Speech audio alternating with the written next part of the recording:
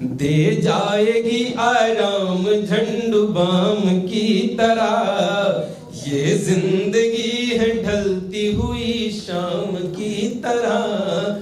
ये ज़िंदगी है ढलती हुई शाम की तरह। इस बार तो जो भी मिला वो ठीक था, मगर अगर आप तक बात पहुँच जाए तो मुझे तालियों से सूचित करना। कवियों के लिए अगर खाद पानी वो सिर्फ़ तालियाँ हैं सुनिएगा कि दे जाएगी आराम झंडू बाम की तरह?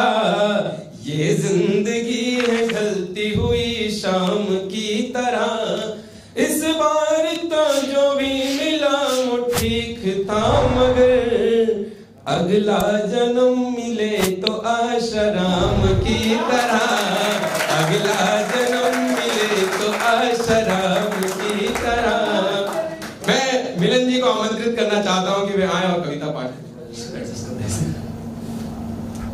दरअसल बाय प्रोफेशन मैं लिरिक्स राइटर हूँ स्टोरी राइटर हूँ स्क्रीन प्ले राइटर हूँ डायलॉग राइटर हूँ, और डायरेक्टर भी हूँ। मेरी कल एक फ़िल्म रिलीज़ हुई मैक्स प्लेयर पे, जिसमें राजपाल यादव है लीड कैरेक्टर में। दो साल पहले की थी, कोरोना की वजह से कल रिलीज़ कर पाया हूँ उसे। और स्पेशली सिर्फ़ इसके लिए यहाँ तक पहुँचने का मकसद ये है कि मैं पहली दफ़ा जब ऐसे माहौल में था तो सुरेश जी लाफ्टर चैनल कर रहे थे और मैं ऐसे भीड़ में कहीं बैठा हुआ था, सिर्फ़ देखने के लिए आया था। उस वक्त मुंबई घूमने के लिए आया था मैं।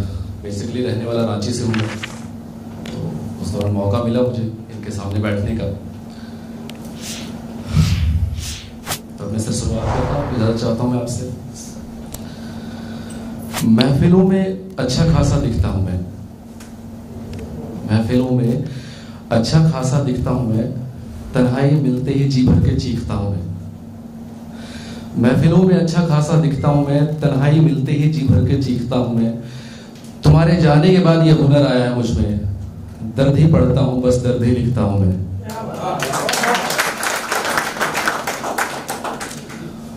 आपकी तालियाँ बताती है कि आप काफ़ी समझदार लोग हैं।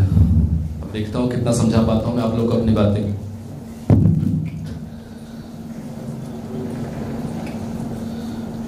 पहली लाइन समझ में आया तो जरा बताएँगे मुझे कितना समझ में आया। कि पहले चिता सजाऊँगा, फिर मौत को गले लगाऊँगा। पहले चिता सजाऊँगा, फिर मौत को गले लगाऊँगा, लेकिन किसी के कांधों का सहारा मैं खुद को नहीं बनाऊँगा। पहले चिता सजाऊँगा, फिर मौत को गले लगाऊँगा, लेकिन किसी के कांधों का सहारा खुद को नहीं बनाऊँगा। मेरी खामोशियों की चीखें सुन और एहसास कर। वो दर्द जो मैं लफ्जों में बयान नहीं कर पाऊँगा। मेरी खामोशियों की चीखें सुन और एहसास कर वो दर्द जो मैं लफ्जों में बयान नहीं कर पाऊँगा। हाथ थामने जा रहा हूँ मैं किसी और का। मैं चीखूँगा चिल्लाऊँगा मगर तुझे आवाज़ नहीं लगाऊँगा।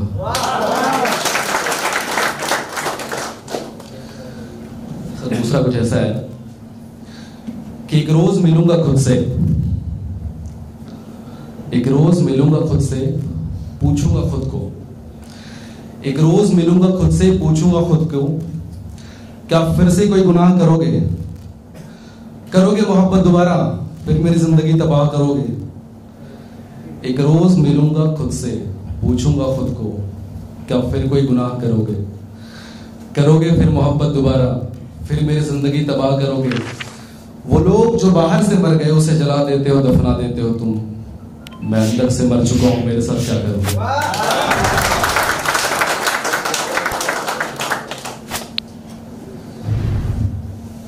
सफ़र हम सफ़र, फिर दर बदर। सफ़र हम सफ़र, फिर दर बदर। ना मंजिलें मिली, ना लौट के आए घर। कुछ इस तरह आज़ाद हुआ है वो परिंदा मुझसे। कैद रह गया है मुझमें वो ज़िंदगी भर।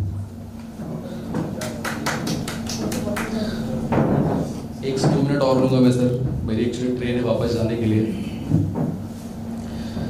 कि सितम इतना ना करो, एक दिन खुद पछताओगे। सितम इतना ना करो, एक दिन खुद पछताओगे।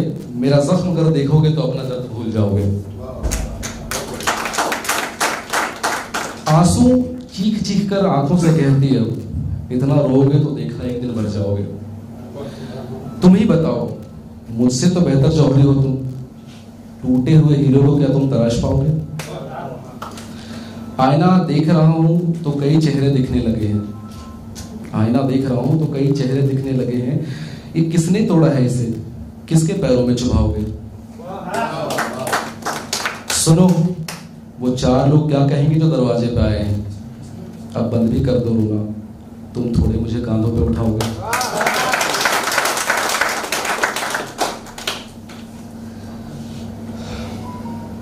सर, एक आखिरी कि अपने वादों पे शर्मिंदा हूँ, कि मैं अब भी ज़िंदा हूँ। अपने वादों पे शर्मिंदा हूँ, कि मैं अब भी ज़िंदा हूँ। कहता था, तुझसे बिछड़ूँगा तो मर जाऊँगा। अपने वादों पे शर्मिंदा हूँ, कि मैं अब भी ज़िंदा हूँ। कहता था, तुझसे बिछड़ूँगा तो मर जाऊँगा।